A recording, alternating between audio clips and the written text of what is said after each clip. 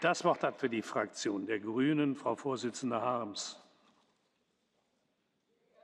Generalsekretär Ban Ki-moon, ich möchte Ihnen, gerade weil ich denke, dass auch Ihnen das Herz bricht, jeden Tag wieder, wenn Sie nach Syrien gucken, ich möchte Ihnen und den Vereinten Nationen gratulieren zu etwas, was zumindest gelungen ist.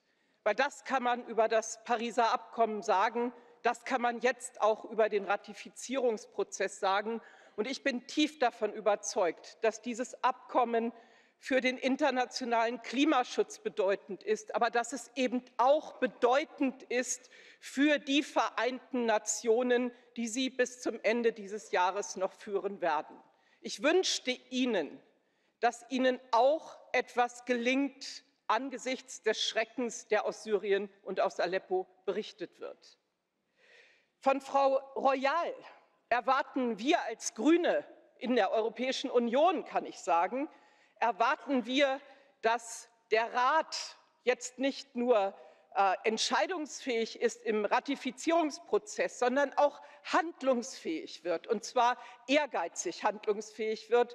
Die Europäische Union hat alle Technologien, um anders zu wirtschaften. Wir können anders Energie erzeugen, wir können Transport anders organisieren. Wir müssen aber endlich auch mal springen. Wir dürfen nicht mehr zögern. Diese Konsequenz, die Sie heute hier demonstrieren, die brauchen wir dann demnächst bei den Handlungen, für die die Spitzen der Europäischen Union stehen. Was wir in Europa machen, wie wir wirtschaften in den Industriestaaten dieser Welt, das ist entscheidend für die Zukunft von Menschen außerhalb der Europäischen Union, nicht nur heute, sondern morgen und übermorgen. Das Thema Flucht werden wir hier nicht diskutieren.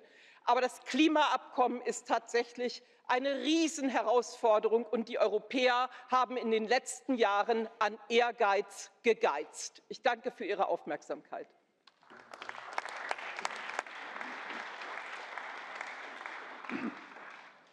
Für die EFDD